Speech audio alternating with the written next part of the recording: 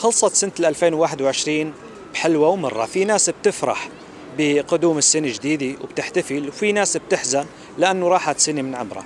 خلينا نشوف آراء السوريين بشكل عام. كيف آه، مضت عليهم سنة 2021 كيف بيتمنوا سنة 2022 تكون؟ والله 2021 مرت علينا الحمد لله على خير الحمد لله.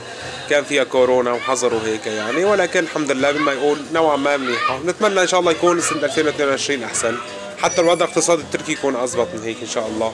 هالشهرين اللي مروا هدول طلعوا فرق السنة كلها تبع 2021 من وين حضرتك؟ من حلب.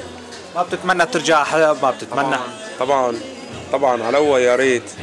الله الله كريم إن شاء الله نرجع كلياتنا سوا. الله يعطيك لي إياك. سنة 2021 كانت قاسية جدا جدا بما تعنيه الكلمة. ولكن هو امتحان من الله تعالى يعني.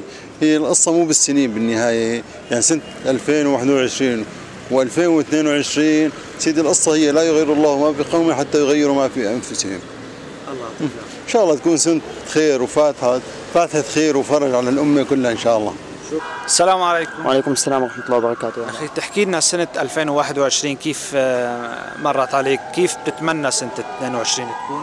آه هلا سنة 2021 صراحة مو بس علي على كلنا نحن السوريين موجودين بالمهجر بلاد المهجر.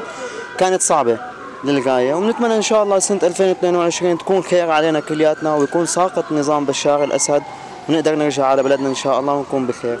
طيب أنت شخصيا شو بتتمنى تحقق بال 2022 شخصيا أرجع على بلدي بدون النظام السوري.